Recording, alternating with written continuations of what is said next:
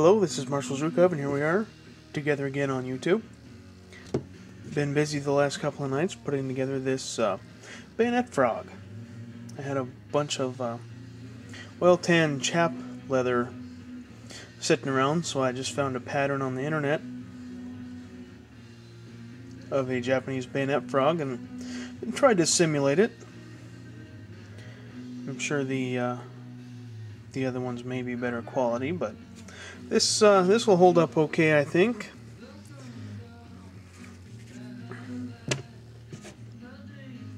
Found the Bucklet Attack store. Cut the pattern out, and it turned out alright. Here it is, fastened on to the bayonet. The stitching on there.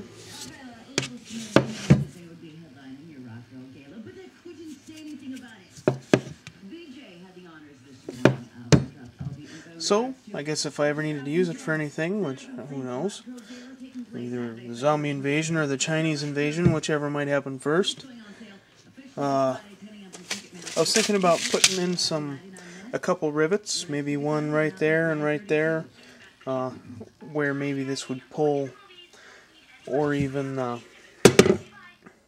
maybe one right there on both sides or more. I don't know. Not too worried about it.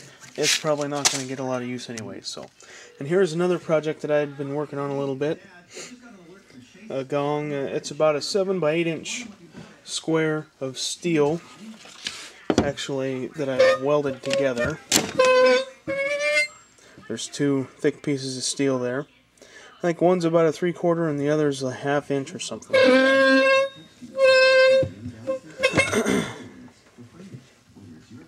so I've got two uh, pieces of bar stock here, oh, about that long, and then uh, on both sides. And the center of it here is hollow, so if you shoot through the center, and everyone everyone knows how that is. You try not to hit it, but you end up shooting where you don't want to shoot. So I'm sure this is going to end up being holy at some point. And that's just a drill hole from sometimes just all scrap steel that was laying around the old shop. So where I uh, went to weld this up. So I've got a couple more pieces here that I'm going to add to it. I'm going to cut two pieces of angle iron and weld them on and then put a bolt through them just like that so this has a third leg to lean on. And then uh, weld in weld some spikes on to the legs or something like that so. Just a little project that's coming along and I'll have it done on Thursday night.